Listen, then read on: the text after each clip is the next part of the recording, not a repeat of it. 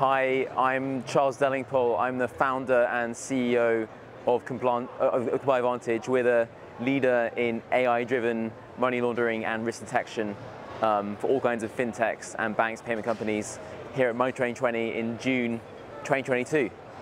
So Comply helps companies comply with ML, ML regulations, principally when they're going fiat to crypto on and off ramp. So when you have a bank account and you move the money to the blockchain, that's the critical place where you can stop money laundering. So really, um, that's the biggest challenge, and that's where we help. Um, we have a database of um, 15 million high-risk people, companies, money launderers, terrorists, and we can use that to vet where the risks are. I think there's been a huge numbers of scandals in crypto in the past few months. First, we had the collapse of Luna and Terra, so the, the, the, the well-known stablecoin. Um, so central banks, governments are very concerned about that because lots of people are now impoverished. Um, then we had the Russian invasion of Ukraine, and you had many oligarchs and Russian companies trying to exfiltrate funds via crypto. And finally, you have the ever-changing problem of money laundering and terrorist financing. So since day one, the regulations of crypto have been very, very lenient. So you've had the kind of equivalent of unnumbered Swiss bank accounts for crypto.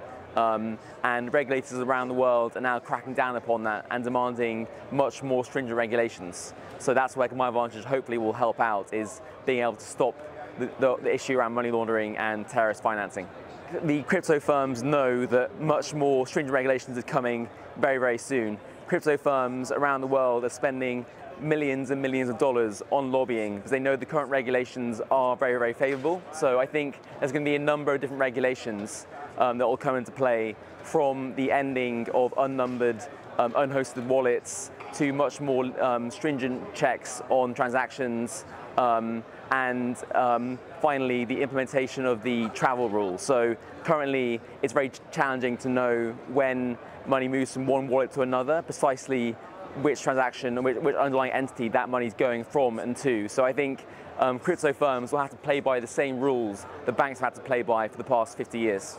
One exciting thing about being in a crypto compliance team is the constantly changing environment. So in the past two years, we've had things like Web3 and DeFi and NFTs constantly explode.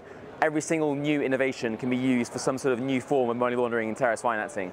Um, with NFTs, you had this dynamic known as wash trading, whereby two people can exchange a Bored Ape and claim that millions of dollars is being transferred.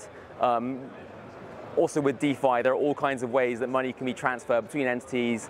Money can be layered between entities, so you don't really know um, who the underlying owner of the asset is, how much money is being transferred. So I think um, to keep up with these, you, you, you really need um, a fast-moving team that, that, that's really able to invest heavily in the underlying technology and data. I previously started a fintech company and I was the designated money laundering reporting officer and the thing that really concerned me was the risk of going to jail and that same risk is there now for crypto firms and their teams. So at worst, you can go to jail. Um, slightly less worse is being fined millions or billions of dollars. Um, but even worse probably than that is the, the, risk that your clients leave you because they're disgusted or affronted by the level of money laundering that, that's going on. Um, and aside from that, lots of companies really struggle with the very slow pace of onboarding. So there's a real balance between being able to not go to jail, not pay huge fines, and at the same time not have huge operational costs from um, taking a long time to diligence clients. Um, yeah, so through Exciting Times uh, uh, my advantage. Um, we're now 410 people, we raised a million dollars. We have one and a half thousand clients. Um, we, are hiring the best people from all over the world um, constantly launching new features. We've launched a new rules builder for our transaction monitoring system.